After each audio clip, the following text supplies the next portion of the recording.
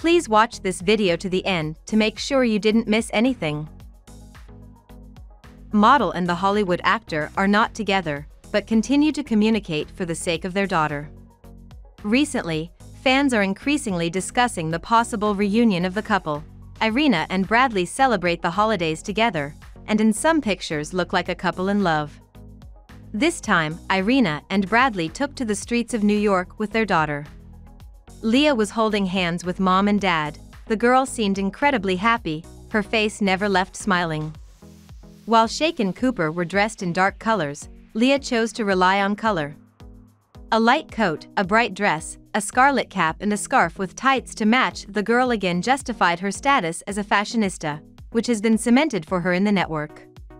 The flirty little girl did not stop talking to her parents, who were happy to keep the conversation going.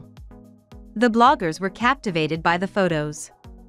Holding hands like happy parents with their daughter, how warm these pictures are, please be together again, so great looking together, my heart rejoices looking at you, discussed in the network.